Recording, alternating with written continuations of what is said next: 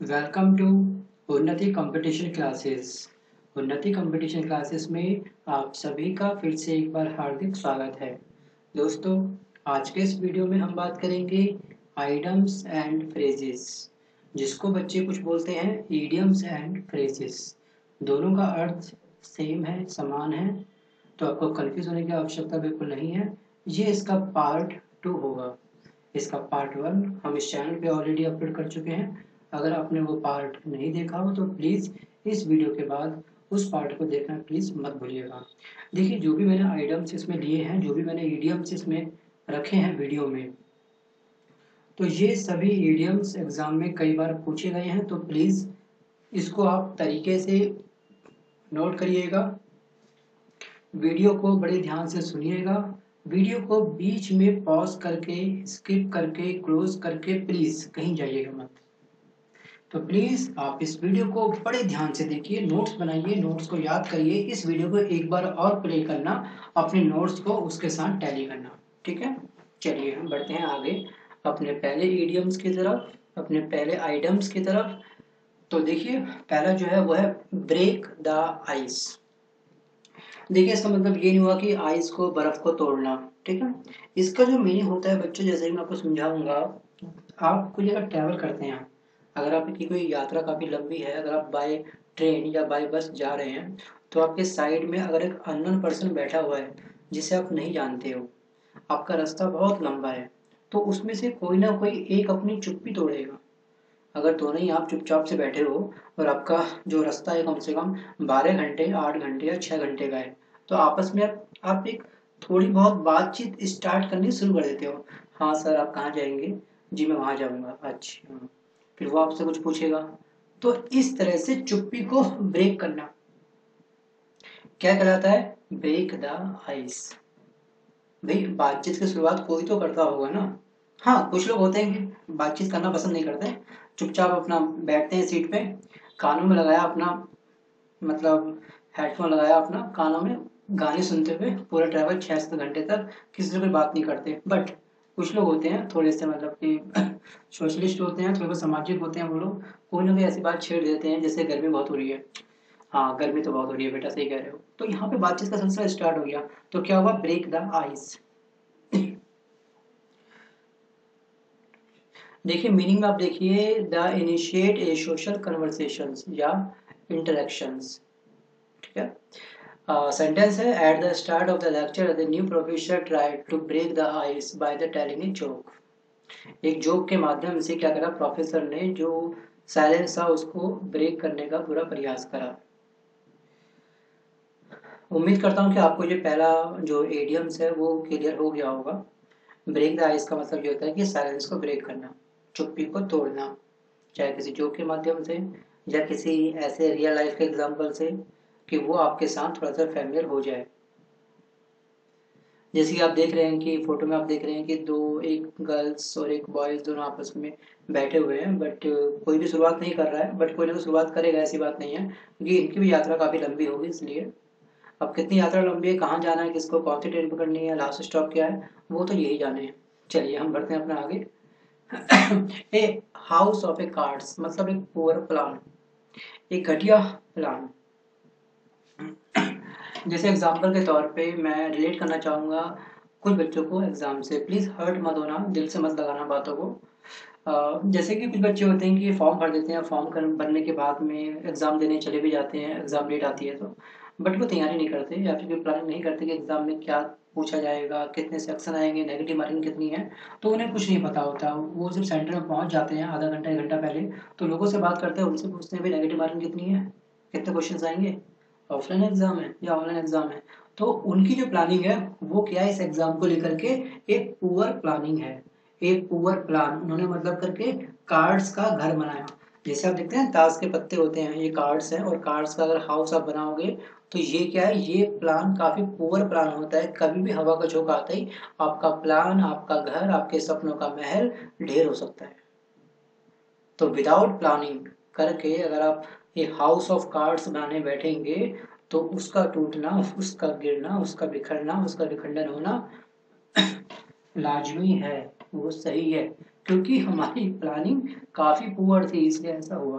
और जिनकी प्लानिंग काफ़ी स्ट्रांग होती है, जो चाहते हैं एग्ज़ाम में देने से पहले फॉर्म भरते हैं फॉर्म भरने के बाद में एक टारगेट सेट कर लेते हैं कि सॉरी हाँ सॉरी बच्चों, जैसे कि आपका एग्ज़ाम आने वाला है छः महीने बचे हुए हैं छः महीने पहले ही अपना वो, पहले जज करेंगे कि कौन सा सब्जेक्ट वीक है, उस जैसे किसी बच्चे का मैथ वीक है, अब उसको पता है कि मेरा मैथ वीक है और टाइम बचा है, मेरे पास मात्र छः महीने या तीन महीने बचे हुए हैं।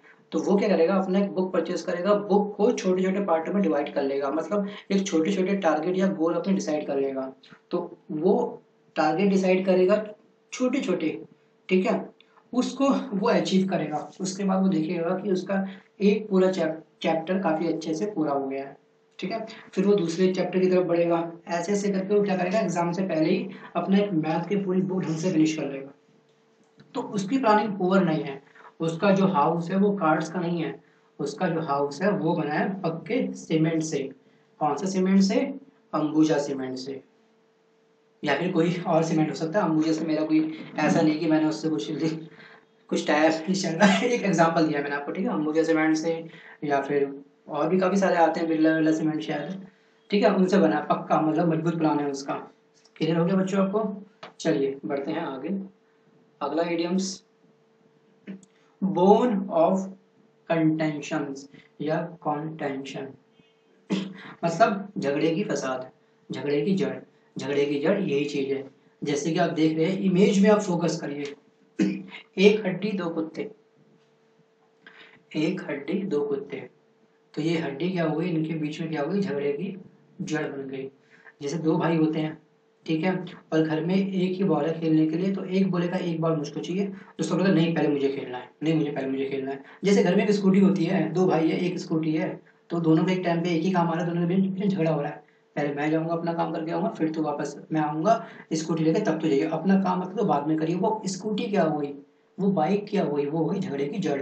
इसको बोलते हैं bone of contentions. A subject or issue over which there is continuous क्या disagreement. तो इस तरह से आप बच्चों एग्ज़ाम्पल बनाइए रियल लाइफ से उसे कनेक्ट करिए, आपको सारे आइटम्स याद हो जाएँगे, सारे ईडियम्स आपको याद हो जाएँगे। और ये जो ईडियम्स है एसएससी का काफ़ी प्यारा ईडियम्स है, कई बार पूछा गया है। 2010 के बाद के मैं ईडियम्स ले रहा हूँ ये आपके सामने, ये 2010 के बाद जो भी एग्ज़ाम हुए एस के, उसमें ये सब पूछे गए हैं। और ये जो क्वेश्चन पूछा गया है, ये पूछा गया एम में। क्योंकि काफ़ी बेसिक क्वेश्चन है, ये एम के लेवल का है तो आप याद कर लीजिएगा, बहुत ही ईजी है, बच्चों को पता होगा, मुझे ऐसा लगता है। जिसको नहीं पता तो प्लीज़ पेन डाउन करिए राइट डाउन करिए, लिखिए, याद करिए, दोबारा वीडियो देखिए। चलिए, आगे बढ़ते हैं। Eat humble pie eat humble pie to apologise humbly मतलब बहुत ही प्यार से किसी से प्रार्थना करना। अगर किसी से गलती हो जाती है, वो उसको लेके क्या कर रहा है? वो माफ़ी, क्षमा याचना मांग रहा है। ठीक है बच्चों? या फिर मैं आपसे ये समझाना चाहूँगा कि अपनी गलती को मानना एक्चुअली अपनी अपनी गलती को एक्सेप्ट कर लेना। अभी एक ही थोड़ा सा हाल ही के कुछ एक वाक्य है कि मैं बाइक से जा रहा था तो साइड से मैंने यू टर्न लेना था। लेफ़्ट टर्न करना था तो वहाँ से एक अंकल आ रहे थे तो मेरी बाइक उनसे टच होते थोड़ी सी बच गई। गलती मेरी थी, मैंने इंडिकेटर इंडिकेटर दिया था, लेकिन वो इंडिकेटर पीछे वाला वॉच कर सकता है, लेकिन सामने से जो आ रहा है, वो तो गौर नहीं करेगा ना। तो हल्की सी मतलब टच नहीं हुई थी, बहुत गैप हो गया था बट मैं हल्का सा मैंने ब्रेक मारा, उनसे सॉरी बोली तो वो मुस्कुरा गए। तो अपनी गलती को मानने से कोई गलत नहीं है, अपनी गलती को मान लेना चाहिए, और इस तरह से क्या होता है कि अपने तरह से बोझ भी कम हो जाता है कि हाँ भाई मैंने अपनी गलती एक्सेप्ट करी है। गलती को एक्सेप्ट करना भी बहुत बड़ी कला है बच्चों। कुछ लोग अपनी गलती करते हैं लेकिन एक्सेप्ट नहीं करते अपनी गलती नहीं मानते तो ये गलत बात होती है। तो देखो झुकने में कोई बुराई नहीं है ठीक है? झुकता वही है जिसके पास कुछ हो ठीक है? आ, जैसे कि होता है कि जो फूलों से या फलों से भरा हुआ पेड़ ही हमेशा झुकता है। तो इसी तरह किसी तरह से आप भी कह सकते हैं, अगर आप अंदर से काफ़ी प्योर हो, काफ़ी जेनवन हो तो ऑटोमेटिक आपके अंदर से सॉरी की आवाज़ आ जाएगी। जहाँ भी आप गलती करोगे, अगर आप अपनी कैरियर को लेकर के भी गलती कर रहे हो तो आपको अंदर से ये आवाज़ आएगी कि हाँ यार तो ये गलत कर रहा है। तुम्हें पता है कि तुम्हारा एग्ज़ाम है और तुम यहाँ पे बाहर दोस्तों के साथ पार्टी कर रहे हो स्मोकिंग कर रहे हो या फिर टाइम वेस्ट कर रहे हो यहाँ की बातों से। तो अगर आप सीरियस यानी कर रहे हो, अगर आप काफ़ी लॉयल हो एग्ज़ाम को लेकर के डेडिकेशन काफ़ी अच्छा है तो ऑटोमेटिक आप हर अपनी गलती को बहुत जल्दी जज कर लेंगे नोटिस कर लेंगे हाँ यार मैं ये गलत कर रहा हूँ, ये मेरे एग्ज़ाम को लेकर के अभी ये चीज़ गलत हो रही है, छोड़ गया मुझे नहीं करनी। ठीक है? जैसे कि फेसबुक में ज़रूरत से ज़्यादा लगना आपको पता है कि एग्ज़ाम में ये आपका फेसबुक क्वेश्चन नहीं आएगा। ये फेसबुक आपका टाइम वेस्ट कर रहा है। तो छोड़ो फिर इसको। व्हाट्सअप वगैरह साइड करो। भाई एग्ज़ाम क्रैक करना है ना। तो सीरियस से तैयारी करनी है। तो अपनी गलती मानना मतलब क्या होता है? ईट हम्बल फ़ाइल चलिए एग्ज़ाम्पल बहुत ज़्यादा दे दिया मैंने इसका भी। मेरा टारगेट था, वो समझा ना कम पढ़ो अच्छा पढ़ो। गिव कोल्ड शोल्डर मतलब किसी को इग्नोर करना। टू टू इग्नोर जैसे कि आप इस रास्ते में जा रहे हो, आपका काफ़ी पुराना फ्रेंड जो है, जो जिससे बातचीत काफ़ी अच्छी थी, एक छोटी सी बात को लेकर के आपके बीच में थोड़ी सी कहा सुनी हो गई और अचानक से आप देख रहे रास्ते में वो सामने से आ रहा है और आपको दिखाई दे रहा है बट क्या कर रहे हो? आप उसे इग्नोर कर रहे हो। तो आप क्या कर रहे हो? उसका गिव कोल्ड शोल्डर आप उसको अपना ठंडा क्या दे रहे हो? वो दे रहे हो शोल्डर कंधा दे रहे हो। ठंडा कंधा देना। इस तरह से आप याद करिए थोड़ा सा इसको तो याद हो जाएगा। मतलब किसी को इग्नोर करना, नज़रअंदाज करना, ठीक है? आगे है hit the nail on the head to do the correct thing इसका मतलब ये होता है to do the correct thing जैसा फिगर में आप देख रहे हो। मैं आपको इसका एग्जांपल देके क्लियर कराना चाहूँगा बच्चों, तभी आपको क्लियर हो पाएगा। आप इसे नोट करिए। इसका मतलब ये हुआ बच्चों कि आपकी जो प्लान था, वो सही जगह पर फिट हो गया है। मतलब जैसा आपने सोचा, जैसी आपने प्लानिंग करी थी सेम उस जगह पर क्या हो गया? Hit the nail on the head जैसे कि मानो कि आपने एमटीएस का एग्ज़ाम दिया आप सोच रहे हो, बच्चों, में घूम फिर एम के एग्ज़ाम के पीछे बढ़ जाता हूँ सीजीएल के एग्ज़ाम के पीछे बढ़ जाता हूँ। आपका मैं एसएससी का एग्ज़ाम किया था चलो, ठीक है। बट एग्ज़ाम को लेकर के मैं ज़रूर बोलूँगा, क्योंकि मैं डायरेक्ट आपको ज़्यादा नहीं बोल सकता। देखिए, आपको कोई एग्ज़ाम था एसएससी का, या बैंकिंग कोई एग्ज़ाम है आपका। आपने फॉर्म भरा, उसके बाद में आपने टारगेट सेट करा, और टारगेट को इस तरह से बनाया कि आपका वो टारगेट फुलफिल हो गया, आपका पहला एग्ज़ाम क्रैक हो गया। सेकंड एग्ज़ाम आपका क्रैक हो गया, आपकी ज्वाइनिंग हो गई। तो आपका जो प्लानिंग थी, जो काम था, वो क्या था? बिल्कुल करेक्ट था। Hit the nail on the head था। जैसी प्लानिंग करी, उस जगह पर करेक्ट वो चीज़ बैठ जाना। इसको बोलते हैं hit the nail on the head ठीक है बच्चों? अगर आप इस इस एडियम्स की बिहाफ पे अगर स्टडी करते हैं, इस एडियम पे फोकस करके स्टडी करते हैं, इस तरीके से कोई भी काम करते हैं, वो सक्सेस होगा। ज़रूरी नहीं है कि आप एसएससी का एग्ज़ाम दे रहे हो। लाइफ एक एग्ज़ाम से भरा हुआ, बहुत सारे एग्ज़ाम इसमें आने वाले हैं। लाइफ में बहुत सारे एग्ज़ाम आते हैं। इस एस के अलावा भी बहुत सारे पहलू आपके सामने आएँगे, जहाँ आप घबराओगे, थोड़ी प्लानिंग ढंग से करोगे तो जो भी घबराहट होगी, वो ऑटोमेटिक कॉन्फिडेंस में कन्वर्ट हो जाएगी। एक्सपीरियंस से सब कुछ आता है मतलब आप ध्यान से फोकस करिए अपनी लाइफ पर। जो भी गलती है, उसको एक्सेप्ट करिए। ठीक है, अभी कुछ टाइम पहले मैंने बताया था आपको ईट हम्बल पाइए अपनी गलती को मानिए। जहाँ भी गलत कर रहे हो, उस पर नोटिस करिए। गलती को एक्सेप्ट करिए, सुधार करिए, कहाँ गलती हुई है, क्यों गलती हुई है, आगे से गलती नहीं होगी, उसको लिए क्या प्लानिंग कर सकता हूँ, बहुत सारी चीज़ें हैं, ठीक है? चलिए आगे बढ़ते हैं इसमें। Hand a mouth hand a mouth का मतलब है live on only basic necessities इसका मतलब ये हुआ कि देखो, जो ज़रूरत की चीज़ें हैं, केवल उन्हीं को इस्तेमाल करना, उससे फालतू खर्चे ना करना। क्योंकि देखो, क्या होता है, कुछ लोग होते हैं जिनकी सैलरी काफ़ी सीमित होती है, कुछ लोग के अधिकांश लोग वही होते हैं।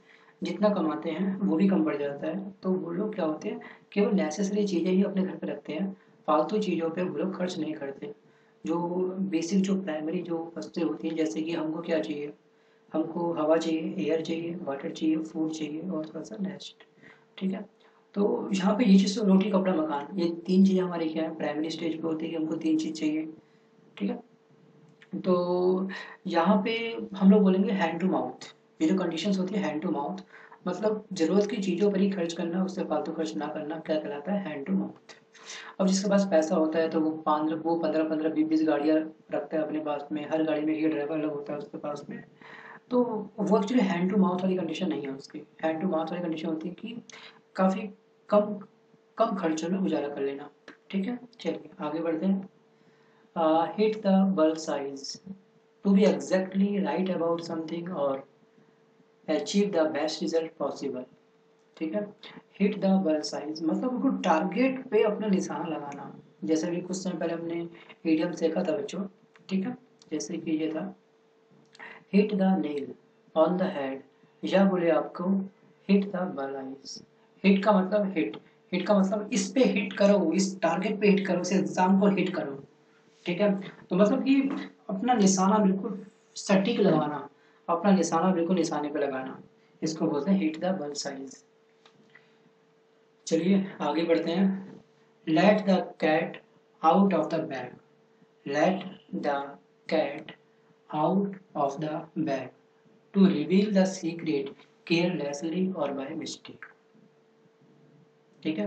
देखो, इसका मीनिंग क्या हुआ? किसी की जो सीक्रेट था, लापरवाही से मतलब गलती से किसी को बता देना। किसी दोस्त ने आपको एक बात बताया कि उसकी एक गर्लफ्रेंड थी, या फिर कोई और टॉपिक हो सकता है कि ठीक है, उसने एग्ज़ाम में फाइनल ईयर में चीटिंग करी थी, या ट्वेल्थ क्लास में उसने मैथ में चीटिंग करी थी, इसलिए उसके नंबर जो थे एट्टी प्लस आए। ठीक है? तो उसका वो खास दोस्त था और उसने ये बात गलती से बातों बातों में किसी और दोस्त को बता दी। तो उसने क्या करा? सीक्रेट डिस्क्लोज कर दिया। किसी दूसरे तक वो चीज़ पहुँचा दी। इसको बोलते हैं let the care cat out of the bag अभी कुछ टाइम पहले आपने देखा था स्पिल्स द बीन्स ठीक है? तो ये सेम वही है सेम ठीक है ना? इसका, उसका मीनिंग दोनों का सेम है। बस थोड़ा सा घुमा फिरा के कुछ पूछ लेता है। तो दोनों का देख सकते हैं। आ, बढ़ते हैं आगे अगले उसके इडियम्स की ओर। Open para sorry open Pandora's box to find a source of a great troubles and problems देखिए आप देख रहे हैं कि ये क्या कर रहा है? ये अपने आप को पिंजरे में थोड़ा सा बंद करके ठीक है ना जाली में के अंदर बैठा हुआ है और सामने ये खुले से भी क्या कर रहा है? पिक ले रहा है फ़ोटो खींच रहा है। तो ये तो ये क्या है? ये ओपन पेंडोराज बॉक्स जैसे कि एग्ज़ाम्पल के तौर पे मैं आपको बोलूँगी पनौती। पनौती नाम आपने सुना है ना? इंसान चाहता कुछ और है, होता कुछ और है बट वो गलत नहीं चाहता बट उसके साथ क्या होता है? वो गलत हो जाता है। तो ऐसे पर्सन को बोलते हैं open Pandora's box Akshay Kumar की मूवी एक है, उसमें वो मतलब सोचता कुछ और है, होता कुछ और है। मूवी का नाम मुझे याद नहीं आ रहा, शायद हाउसफुल थी वो मूवी हाँ शायद ये मूवी थी हाउसफुल टू पनौती। तो इसको पनौती बोलते हैं। ओपन पेंडोरा बॉक्स तो आप पनौती से इसको याद कर सकते हैं। उम्मीद कर रहा हूँ कि आपको ये सब क्लियर हो रहे होंगे जो वर्ड मैं आपको समझा रहा हूँ। हम्म, आगे है इट्स क्रीक टू मीन मतलब something that is not understandable कोई ऐसी बात जो बिल्कुल समझ से बिल्कुल बाहर हो। जिसमें बहुत सारा डाउट हो जो बात अब क्लियर ना हो। अगर कोई ऐसा पर्सन आपकी गली में घुस जाए, आपके एरिया में आ जाए, जिसकी लैंग्वेज बिल्कुल अलग हो, जो हिंदी नहीं बोलता हो, तमिल बोलता हो, या तमिल जैसे एरिया में कोई बंदा कन्नड़ बोलता हो, ठीक है? और कुछ टिपिकल पंजाबी होते हैं, उनकी जो लैंग्वेज होती है, वो क्लियर हमको नहीं होती है। अगर ऐसा इंसान आपके सामने कुछ पूछे तो आपके लिए क्या होगा? इट्स ग्रीक टू मी होगा। मतलब कि मेरी समझ से ये बात काफ़ी बाहर है। सेंटेंस में आप देखिए I failed my commerce test it was a all Greek to me देखिए, आप सिंपल मीनिंग ही देख लीजिए, इसका मीनिंग से भी सब क्लियर हो जाएगा, ठीक है? इट्स ग्रीक टू मी का मतलब होता है कि समझ से बाहर, जिसको समझना काफ़ी मुश्किल हो। आगे बढ़, बढ़ते हैं। Don't put all your eggs in one basket देखिए, क्या होता है कि एक ही बास्केट में कभी भी सारे एग सारे अंडे नहीं रखने चाहिए। इसका मीनिंग आप देखिए जो इसका मीनिंग दे रखा है do not put all your resources in one basket मतलब जितने भी रिसोर्सेज होते हैं उन सबको एक ही बास्केट में मत रखिए। क्योंकि इससे क्या होती है? संभावना बढ़ जाती है कहीं ना कहीं। संभावना किस चीज़ की? संभावना होती है दुर्घटना की। ऐसे केस में ठीक है? जैसे मैं आपको एक एग्जांपल सेट कर दिखाता हूँ कि आ, आप कोई ना जैसे कि बिज़नेस कर रहे हो स्टार्ट ठीक है ना? आपने एक बिज़नेस स्टार्ट करा और अपनी सारी रकम आपने उसी में लगा दी। अपने सारे प्रॉपर्टी सेल करके, जो मकान में रहते थे, वो गिरवी रख करके, या जो भी आपकी सेविंग बनी थी, सब आपने एक ही जगह पर लगा दी ठीक है? आपने बिज़नेस करा बिज़नेस में प्रॉफिट लॉस कुछ भी हो सकता है, लेकिन एक ही बास्केट मतलब उसने एक ही बिज़नेस पे अपना सारा पैसा लगा दिया। अगर इन केस कुछ नेगेटिव कुछ आस्पेक्ट जनरेट हो जाते हैं और बिज़नेस कभी अगर लॉस में जाता है तो क्या होगा उस केस में? मुझे बताइए एक बार, उस केस में क्या होगा? उस केस में क्या होगा? वो इंसान पूरा तबाह हो जाएगा, ठीक है? तो हर चीज़ का कोई ना कोई अल्टरनेट होना चाहिए, ठीक है? Don't put all your eggs in your in one basket का मतलब यही हुआ। या फिर मैं आपको बोलता हूँ कि ठीक है कि आप तैयारी कर रहे हैं एग्ज़ाम की, आपने सब कुछ मतलब ट्वेल्थ पास आउट आपने करा और उसके बाद किसी एग्ज़ाम पे फोकस कर रहे हैं हंड्रेड परसेंट दे रहे हैं। बट साइड में कुछ ना कुछ ऐसा ऑप्शन रखो कि अगर इनकेस ये चीज़ अगर ढंग से नहीं हो पाती है या इसका कट ऑफ़ बहुत ज़्यादा जाता है, आपके पास टाइम बहुत कम है। तो साइड में अपने आप को कोई बैकअप लेके चलो लाइफ में बच्चों, ठीक है? आपके फादर का बिज़नेस पहले से ऑलरेडी तैयार है तो उसमें थोड़ा सा पार्टिसिपेट आप कर सकते हो। पढ़ाई के साथ पढ़ाई तीन घंटे, चार घंटे कर लो। चार घंटे की पढ़ाई मैं कहता हूँ इनफ है। उसके बाद में अपने फादर के साथ अपना हाथ बैठाओ, वहाँ से एक्सपीरियंस लो। क्योंकि आपके पास क्या होगा, आपके पास एक साइड में अगर एक एक पार्ट आपका सिक्योर होगा, एक बैकबोन ऑलरेडी तैयार होगी आपकी तो आपकी पढ़ाई में मज़ा आएगा, ठीक है? डर के साथ बच्चों पढ़ाई नहीं होती है, अगर आप स्ट्रेस के साथ पढ़ाई करते हैं, डर के साथ पढ़ाई करते हैं तो नंबर आने की संभावना बहुत कम होती है। हाँ अपना थोड़ा फोकस बना के चलो, थोड़ा क्या बहुत बना के चलो, एक टारगेट सेट करो गोल बनाओ बट ये नहीं कि सब कुछ वही है, ठीक है ना? देखो, उस एग्ज़ाम के आगे भी आपकी लाइफ बहुत बड़ी है, ठीक है? एक हरिवंश राय बच्चन जी की एक लाइन है कि मन का वो अच्छा ना हो तो और भी अच्छा। अगर नहीं भी नहीं भी हुआ तो ना होने में शायद भगवान की मर्ज़ी थी, जो उसने हमको ये चीज़ नहीं दी। शायद भगवान हमको इससे कुछ और अच्छा चाहता हो। ये तो नहीं है ना सभी बच्चे की कंपटीशन की तैयारी कर रहे हैं। हर इंडिया का एक एक पर्सन सरकारी जॉब पे लगा हुआ है। कुछ लोग प्राइवेट जॉब भी करते हैं, कुछ अपना बिज़नेस भी करते हैं। पैरों पे खड़े होते हैं, ज़िम्मेदारी पूरी दिल से निभाते हैं। अपने परिवार की ज़िम्मेदारी संभालते हैं। तो एग्ज़ाम में सब कुछ नहीं है, ये एग्ज़ाम बहुत छोटा एग्ज़ाम है बच्चों। हो जाता है क्लियर अगर आप एल की तैयारी है सीजीएल की तैयारी कर रहे हैं और काफ़ी सीरियस तरीके से तैयारी कर रहे हैं तो बच्चों, आपका एग्ज़ाम क्रैक होगा। लेकिन आप ये मत समझना कि कुछ बच्चे होते हैं कि काफ़ी गलत कदम उठा लेते हैं एग्ज़ाम आने के बाद में रिज़ल्ट आने के बाद में जब आता है तो काफ़ी नेगेटिव होते हैं, रोते हैं। तो देखो, वो भी नहीं करना कि अब पश्चात हो क्या जब चिड़िया चुगी खेत वाला एक मैंने पार्ट वन में एक दिया था ऐसा एग्ज़ाम्पल आपको ईडियम सा वो। तो वैसा भी कुछ नहीं करना है आपको। ठीक है लाइफ ठीक है, भगवान ने अगर जन्म दिया है, पेट दिया है तो इसके लिए भी रोटी का इंतज़ाम ऊपर कम से कम हमको इतना कैपेबल बना देगा कि हमको एक रोटी खाने के लिए हमको इतना लायक बना सके। ठीक है? चलिए बच्चों, बात बहुत अधिक हो रही है। चलिए मैं आगे बढ़ता हूँ, अगले क्वेश्चन की ओर। आई थिंक आप समझ समझ गए होंगे don't put all your eggs in one basket का मतलब क्या होता है? तो आप भी कोई बिज़नेस खड़ा करते हैं तो अपने पास एक सेविंग मनी रखिए साइड में, ठीक है? वो मनी एक ही बास्केट में खर्च मत करना, एक ही बिज़नेस में खर्च मत करना। ये काफ़ी मतलब काफ़ी ईडियम्स काफ़ी अच्छा ईडियम्स है एग्ज़ाम की दृष्टि से भी और हमारी लाइफ की दृष्टि से भी। हर ईडियम्स हमको कुछ ना कुछ सिखाता है। हमको लाइफ को सुधारने का मौका देता है। एक ईडियम्स हमको इसमें काफ़ी गहराई होती है, छिपी उसको पहचानो, आगे बढ़ो, ठीक है? चलिए। देखिए बच्चों to call a spade a spade इसका मतलब होता है तुम्हारा बच्चों blunt in speech outspoken जो इंसान काफ़ी फ्रेंकली बात करे देखिए, इसका जो मीनिंग होता है बच्चों टू बी ब्रूटली फ्रैंक इसको बोलते हैं मुफट होना। कुछ लोग बोलते हैं कि मुँह पर बिल्कुल साफ़ साफ़ बोल देते हैं, ठीक है, उसको बोलते हैं काफ़ी मुफट है। उससे फ़र्क नहीं पड़ता कि इंसान को बुरा लगेगा या सही लगेगा, वो बस कहीं बोल देते हैं।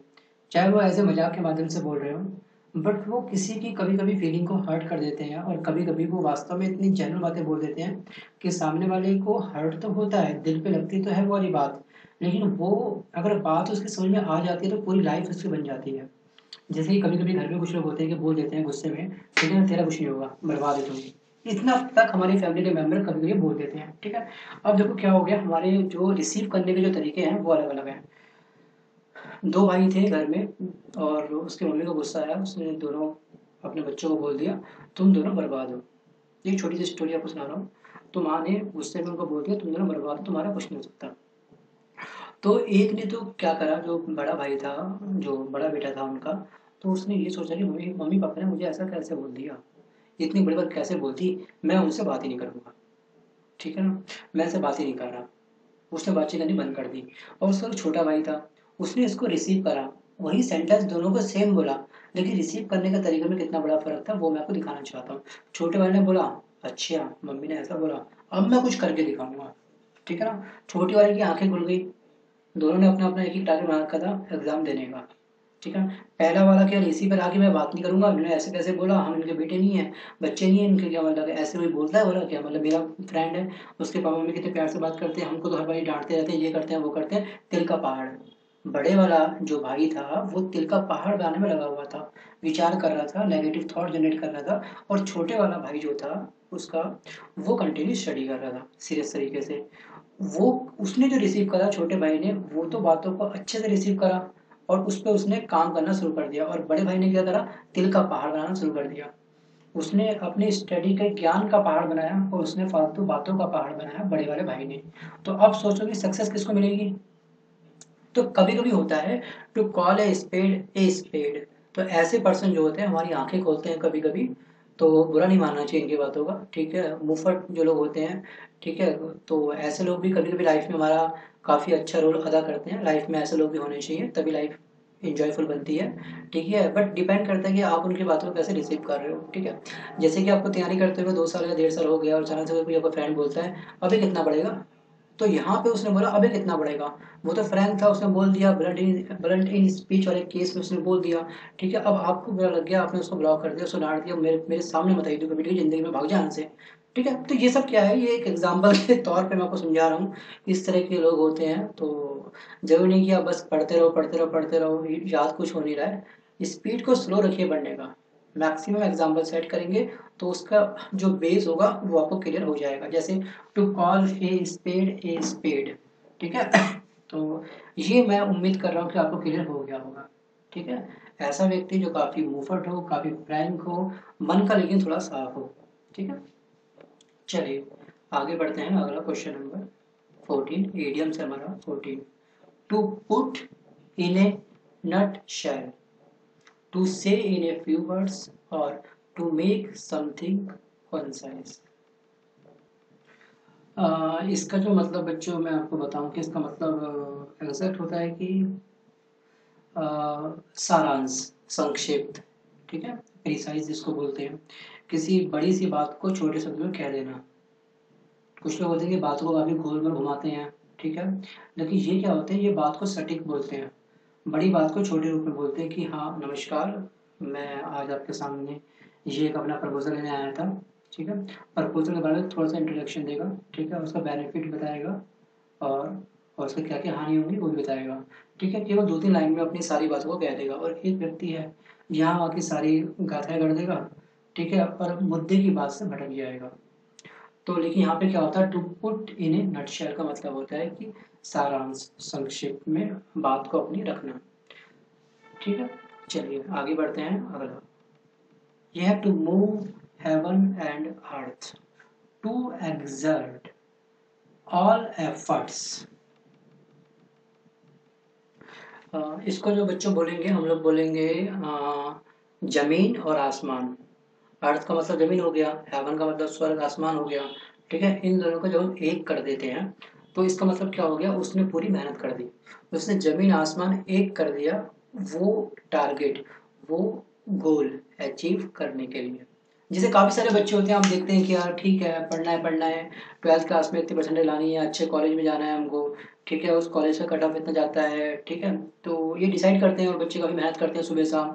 सुबह सुबह निकल जाएँगे बैग लेकर के बुक लेकर के कहीं पढ़ने के लिए, दोस्त के यहाँ पढ़ के आएँगे कोचिंग जाएँगे, फिर घंटों घंटों रात भर, दो तीन तीन बजे तक पढ़ते रहते हैं तो वो क्या करते हैं ज़मीन आसमान एक कर रहे हैं अपने गोल को प्राप्त करने के लिए, ठीक है?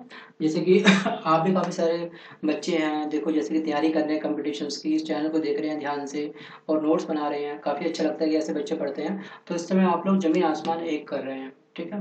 मतलब आपको अपने एग्ज़ाम को क्रैक करने के लिए, अपने गोल को सेट करने के लिए, एक अच्छी जॉब पाने के लिए फैमिली में एक रेस्पेक्ट पाने के लिए, दुनिया में एक रेस्पेक्ट पाने के लिए तो आप क्या कर रहे हैं? ज़मीन आसमान एक करने में लगे हुए हैं।